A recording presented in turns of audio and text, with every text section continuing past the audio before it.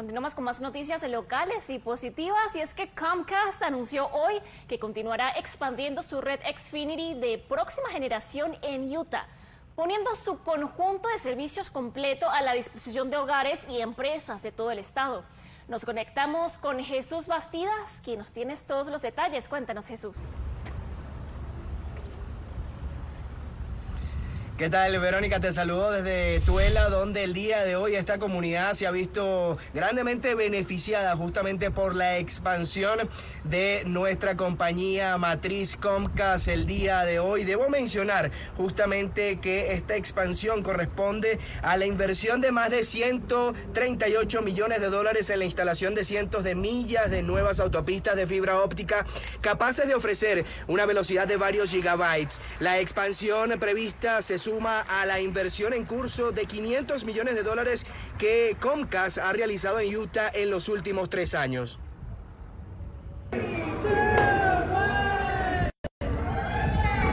Es parte justamente de la ceremonia del día de hoy. Es que en lo que va de año, la ampliación de la red de fibra de Comcast incluirá comunidades de los condados Box Elder, el condado Davis, Salt Lake, Summit, del condado Tuela, Wasatch, Weaver y el condado Utah, partes de las cuales ya tienen acceso a servicios Xfinity y Comcast Business. Estas ubicaciones tendrán además la red fundamental de nueva generación para comenzar a desplegar DOCSIS 4.0 preparando el terreno entonces para la introducción de nuevas opciones de Internet multigigabyte simétricas.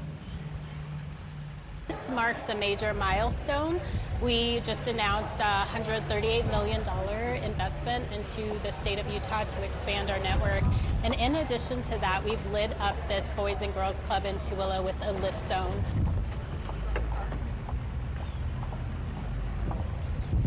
El compromiso de nuestra compañía matriz Comcast con las nuevas comunidades va más allá de la construcción, aborda justamente las oportunidades digitales en las comunidades a través de Project Up, el compromiso de mil millones de dólares de la empresa para ayudar a decenas de millones de individuos a conectarse a Internet y construir un futuro de posibilidades ilimitadas. De hecho, el año pasado Comcast Utah invirtió más de 4.6 millones de dólares para ayudar a las organizaciones comunitarias locales a ofrecer formación digital práctica talleres de desarrollo, preparación de la fuerza laboral y otros tipos de educación tecnológica a estudiantes, adultos y personas con discapacidades. We have always been in a building for the last 20 years where we did not have great access to technology because of the way the building was set up. And it was not our, our own location, so we weren't able to have, you know, great Wi-Fi in there. And now that we are in this new building, we are able to offer so many more services to our kids. Bueno, debo comentarles que a través de Project Up, nuestra compañía matriz Concab se asocia con los Boys and Girls Clubs para ofrecer a los jóvenes oportunidades de desarrollar las habilidades tecnológicas necesarias para competir con la competitividad fuerza laboral actual y obtener un empleo sostenible.